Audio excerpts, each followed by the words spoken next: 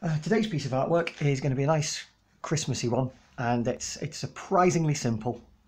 You only need a few colours. I'm working with pastels, chalks and charcoal. You can just use pastels. If you've got coloured chalks they'll work just as well. Um, here's the idea of it. A snowman waving off in the distance and it's this idea of getting a sense of, of light into our picture as well. Okay, so that's a, a quick draft I've done before just to show you what it should look like. Let's do one now. So uh, getting the, the paper landscape rather than portrait. It doesn't really matter, but for the picture I want, the composition, I'm going to have the snowman looking off into the distance. So first thing I'm going to do is I'm going to use the chalk, piece of white chalk, and on black paper, I'm just going to whiz it across. So I'm not drawing lines, I'm using the flat piece of the chalk, the width of the chalk. And in the distance, I'm going to press down a little bit lighter because it's further away, so it's less in focus. And as I come down the page, I'm going to change the angles a little bit. And I'm going to press down a little bit harder. And then just going to do this and then a little bit harder still down at the bottom. That's my foreground. So I've got a background foreground and a near ground. And if you've got any bits under the table it'll make a mark on the paper. So just clean those bits up as you go. Right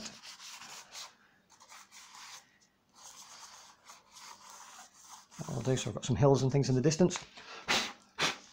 Right, that's my uh, basic bits of background, middle ground and foreground. Now I'm going to put my snowman in. On this one, I have the snowman facing that way. On this one, I'm going to have him facing that way, just because I can.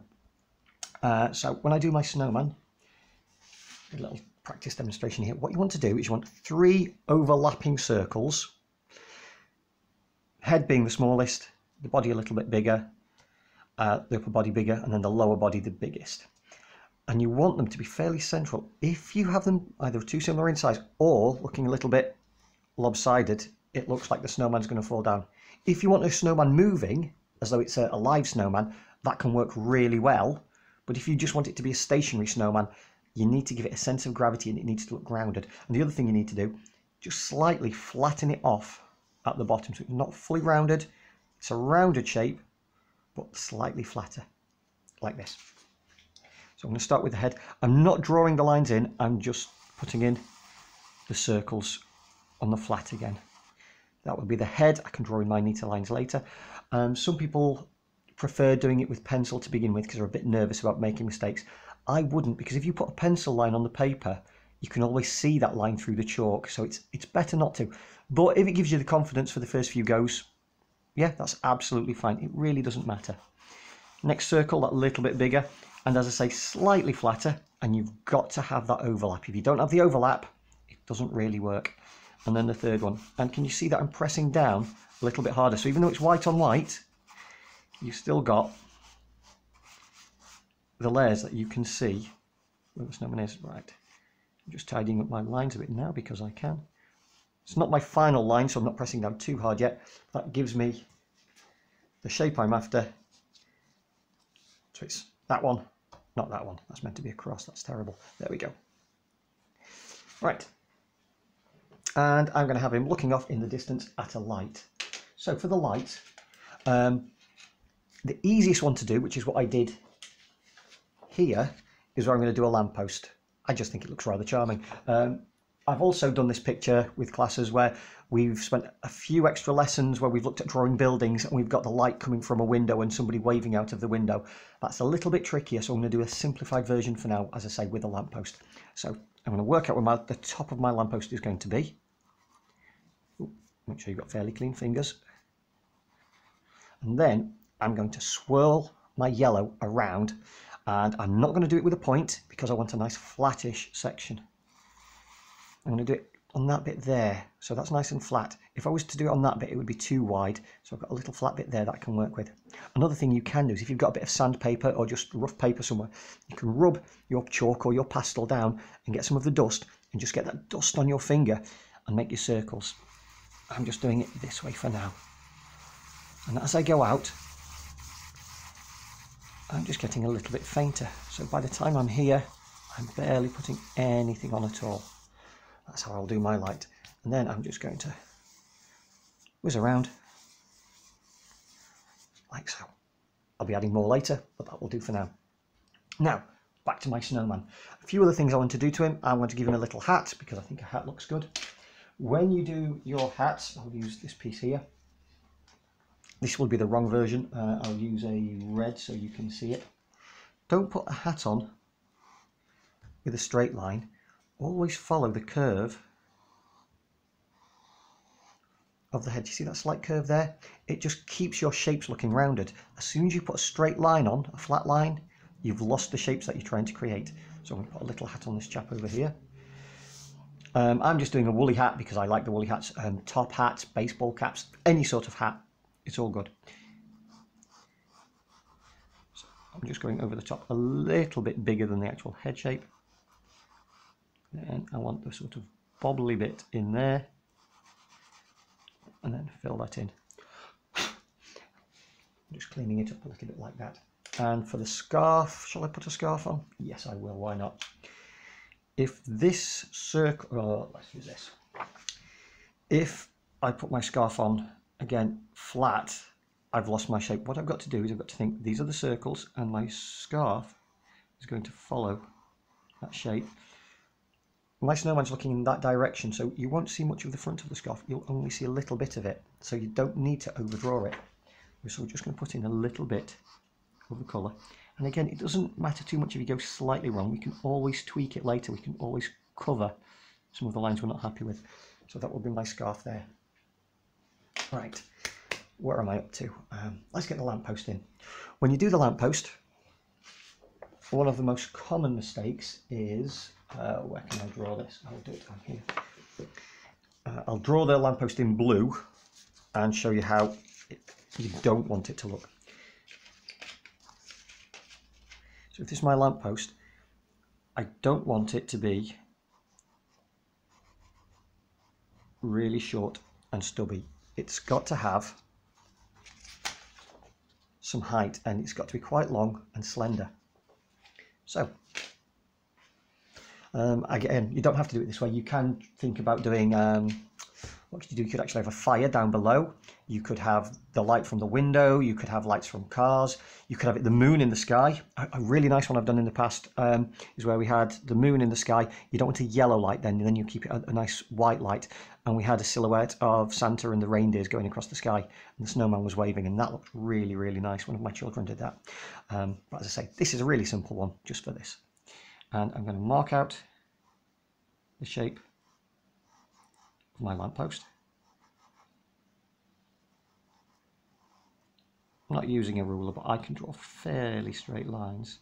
If you're a bit unsure, you can just very gently with a pencil so it's not leaving a mark um, or much of a mark. You can put a, a line in just to give you something to copy off.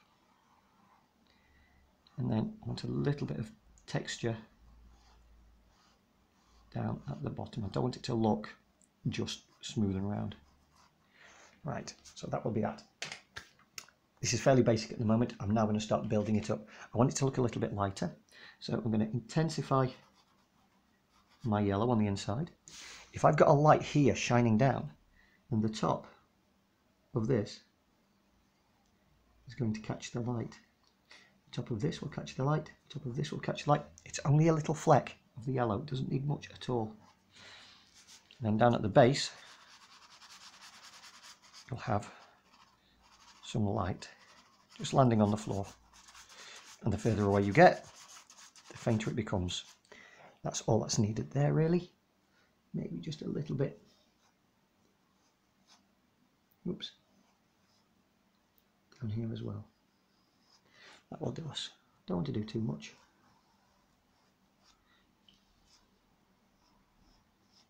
There we go. Now, once I've got that bit of light, oh, one final thing, if you've got a source of light, after you've got the colour of the light, which in this case is yellow, we then go back to the centre of it. We make it extra bright by adding white. There we go, there's my light. And if you want, you can even just add one or two beams coming out, but keep those incredibly faint. That will do us. Right, back to the snowman. I've got a snowman who's looking at a source of light so what I need to do is on this side of him, I need to capture some of that light. So I'm just going to use the yellow and it's going to be here, here, and here. Any bits that are a bit smudgy, I can use some black just to tidy my lines up. And then very gently, and make sure you've got fairly clean fingers. I just tend to give them a bit of a rub. Go like that.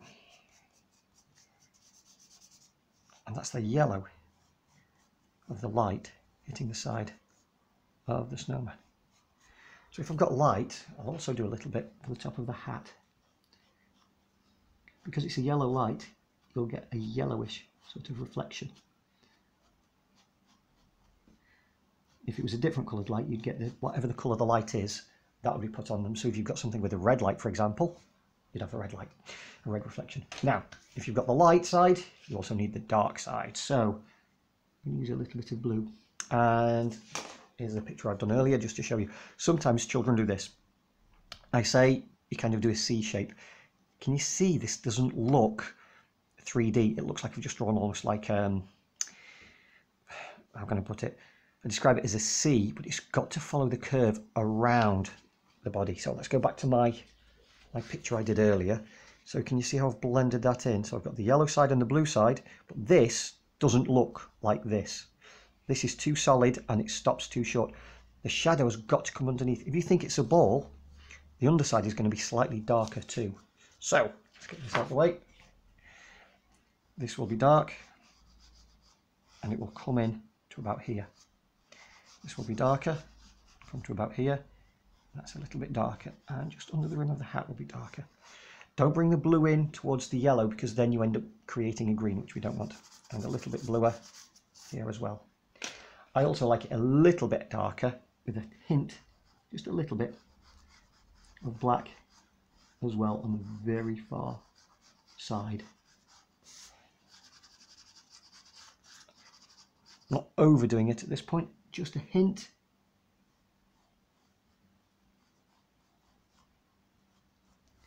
Then cleanish fingers, I'm now going to blend that in. One of the things I teach the children is when you're actually doing a shape, when you're blending, try and follow the shape that you're working with.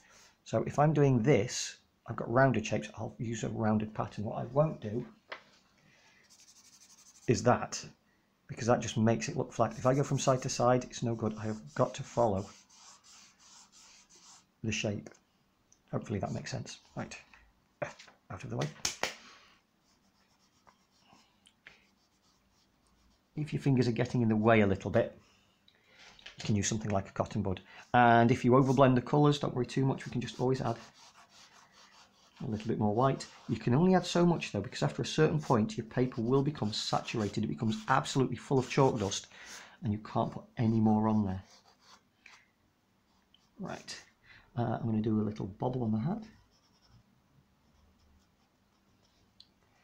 And the back of it will be just just slightly blue. Does not need much. I'm not going to put the yellow on the front because I don't think it would capture enough to, to mark off. Now I'm going to put the nose in. Because my snowman is looking away I don't need to draw a full face. All I need to do I haven't got the face going up that way is a bit tiny bit of the snowman's nose. If I do that my brain is telling me where his face is. I don't need to add any extra bits. Add just a hint of the yellow on the top. And then with a finish black, I'm using charcoal for this. Just going to add a little bit of texture to the carrot and also use it almost like a rubber to tidy up some of the smudgier lines I've got. There we go just outlining my hat a little bit more. And I'm going to put a little bit of texture into it like so not too much.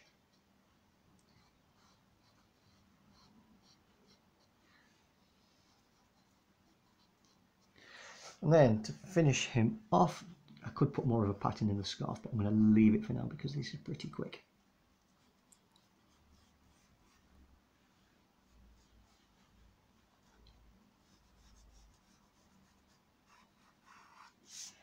need to add a few extra lines in with the charcoal just to make it a little, for more definition, that's absolutely fine. I'm just going to put his arms in. And for this one, I did him waving.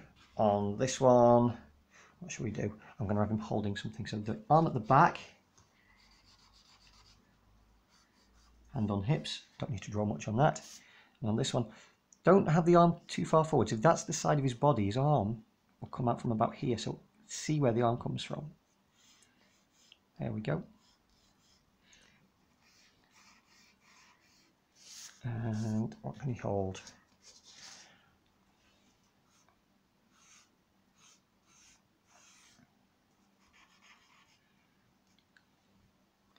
Some sort of a brush type thing. Um, just roughly marking where that will be. And now if we think back to what I did before with the light, the light's coming in so it's going to capture that side. And can you see how it makes it pop out? It doesn't need much. This side will be the top of this bit of the arm. It'll be that side of the forearm and of the stick, the, the pole for the brush be on this side. Just capture a little bit of light on that side where the, the bits are all sewn together or whatever it is. There's the sweeping brush. It's a bit too yellow, so I'm going to just tone that down with a little bit of white.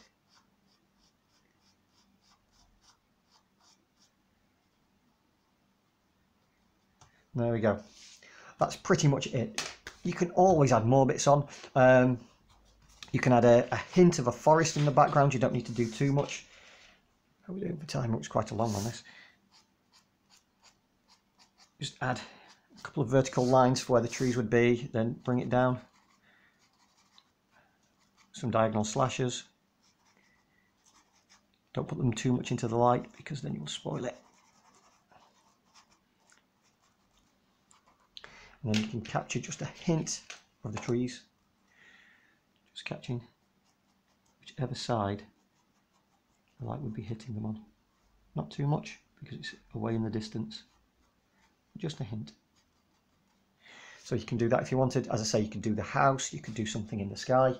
But a really simple way of using your chalks and charcoals to create a nice 3D winter scene. And with that, I think I am done.